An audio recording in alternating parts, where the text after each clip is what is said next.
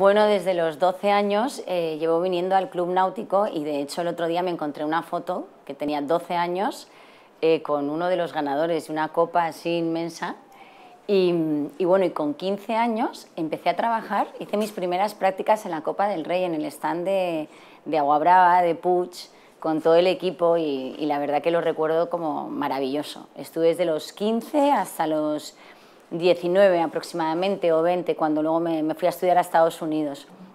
Así que puedo decirse que yo he crecido en la Copa del Rey. Bueno, a mí lo que más me gusta es navegar y, seguir la regata. Yo creo que eso es maravilloso y me siento una privilegiada. ¿Qué tiene la Copa del Rey? Pues que la Copa del Rey es lujo, es deporte.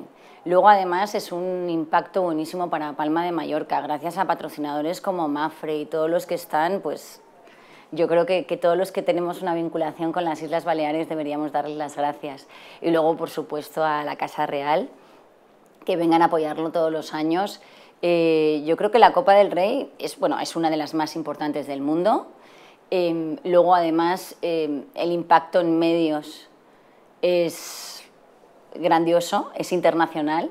Eh, vosotros sabéis que yo me muevo muchísimo internacionalmente y cuando mis amigos han visto que venía la Copa del Rey, eh, todos mis amigos internacionales pensaban, qué maravilla.